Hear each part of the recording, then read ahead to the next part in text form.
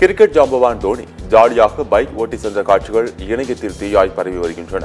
மஞ்சள் ஹெல்மெட் மற்றும் கருப்பு டிஷர்ட் அணிந்திருந்த Dhoni Yamaha R one G பைக்கில் ஓட்டிச் சென்றார். மேலும் தன்னை வீடியோ எடுத்த நபரை பார்த்து கையசைத்து கெத்தாக கடந்து சென்றார்.